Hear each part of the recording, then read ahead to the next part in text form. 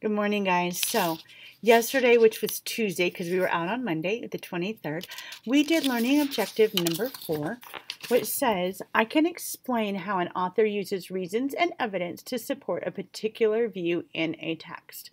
So, we talked about how the word explain simply means to tell. And we talked about reasons, are another word for um, details and we already know evidence is proof. So we're going to go ahead and underline that and put the word proof up there. And a particular view is what they think. And we know that text means whatever you're reading. You are reading. So if you go ahead and underline yours so that it looks just like Miss Madrid's. Wait just a minute.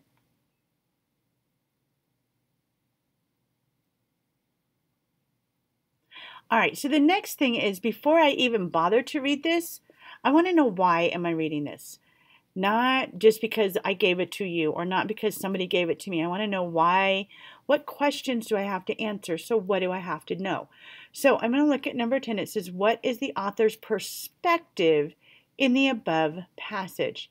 So really the important words is what author's perspective above passage. So I'm going to go ahead and underline those. What author's perspective above passage. And author's perspective is his point of view. So when I'm reading, I'm like, what is his point of view? What is he thinking? And then on number 11, this is my evidence. So remember that proof and evidence, right? Which detail from the above passage supports the author's position? So I'm going to put which detail supports author's position. And the reason I'm not underlining everything is because honestly, I don't need to know about above passage. I already know where it's coming from, right? Because we don't have anything else that we're reading. So here we go. When I'm reading, we're looking for what is his point of view or what does he think and what detail is going to support that. So here we go. An 8 p.m. curfew is just what children in our town need. Every morning I see them drag themselves to school.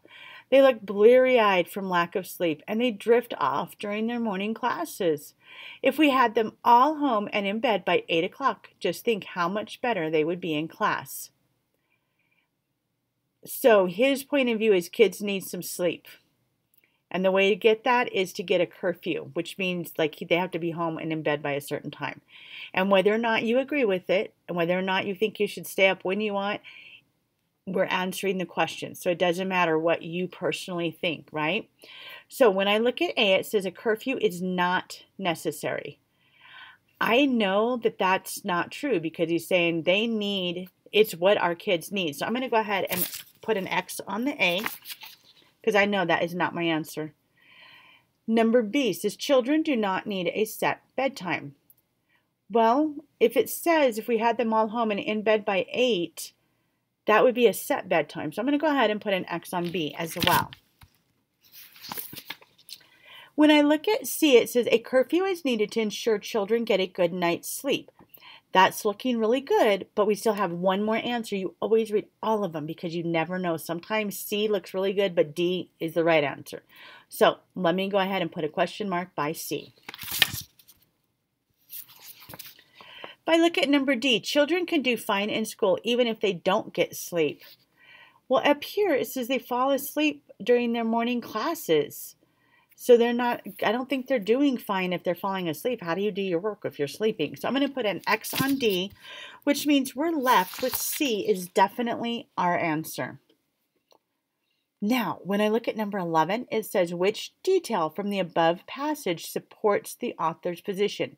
So which detail, one of them in here, supports or like helps pull up that they need to get a good night's sleep. So a. Children look bleary eyed from lack of sleep. So we said that they need to have a good night's sleep. So I'm going to lack means not having it. So I'm going to put a question mark by A. It just might be, looks good. We'll find out. Number B. Every morning children are early to school. didn't mention a word about kids being early to school. They were dragging themselves to school. So I'm going to put an X on B. On letter C, it says children are wide awake at school.